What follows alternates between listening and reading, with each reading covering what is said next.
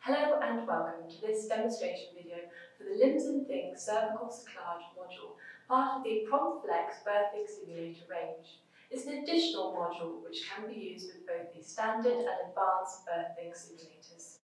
Next on this video our collaborator consultant obstetricians Dr. Graham Tydeman and Professor Andrew Shennan will be taking us through the details of how to train with this module.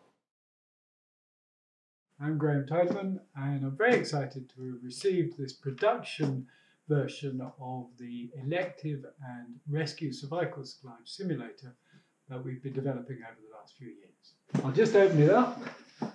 It contains a module that clips into the prompt trainer that I'll show in a moment, but many of you will be familiar with. A reusable vagina that fits into this module and a perineum. These are the cervixes. This is the elective cerclage module, and this fits over the end of the reusable vagina and will last at least 20 sutures before it has to be replaced with another one. Next is the rescue cerclage cervix, which again you get a box full and again fits over the end of the reusable vagina and as you can see is about two or three centimeters dilated. With this cervix comes a header tank which is filled with water and then produces bulging membranes which have to be replaced as in real life. As for the elective cerclage cervix, this will survive at least 20 procedures before having to be replaced. Uh, so this is the prompt trainer that many of you will already be familiar with, and the cervical cerclage module fits into the existing prompt trainer. Then you can see the cervix at the end. This fitting simply goes into there. As you'll see, I've already attached the perineum and just clicks into place. Use the speculum and sidewall retractor to show me the cervix.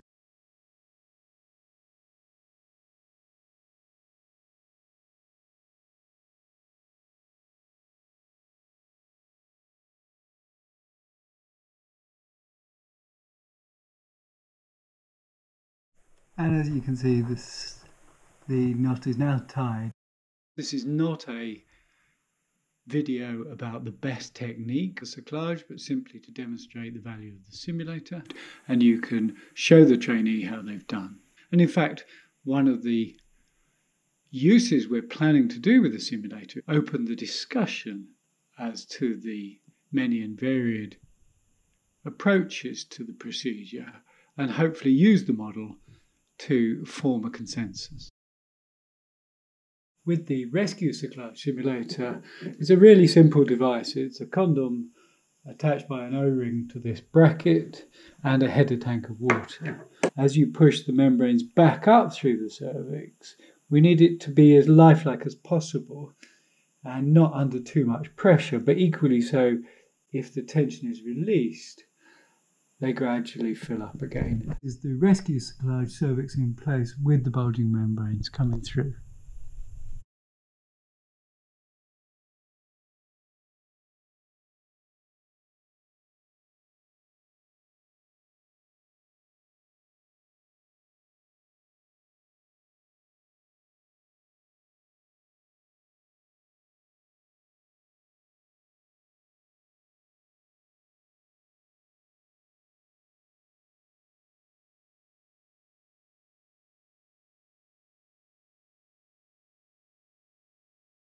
Reasonably happy with the occlusion. My knots are reasonably high up all the way around and no membranes caught. Trainees uh, expressed their concern that it was very difficult to get signed off for both elective and rescue cerclage. The RCOG had recognised that this is a difficult procedure for trainees to get in real life, and so the option of being trained on a simulator has been there for some time. The problem has been there hasn't been a commercially available simulator available until now. In conjunction with Professor Shennan from St Thomas's Hospital and the development team at Limbs and Things, we've worked over the last few years uh, to produce this finished article. Hello, I'm uh, Professor Andy Shennan. I'm an obstetrician based at St Thomas's Hospital, and I have an interest um, in premature birth. We get re- more referrals for cervical stitches than anyone else in the country. Um, if you have experience and do them a lot, they do have a better outcome. We've shown this in our clinical trials. There's therefore a really important need for a simulator so that people doing these procedures can have the necessary skills to be able to safely do them. And quite rightly, our patients are demanding this. They want to know that you are experienced. And with a simulator, at least we'd be able to tell um, the women that the operators have got that, those necessary skills.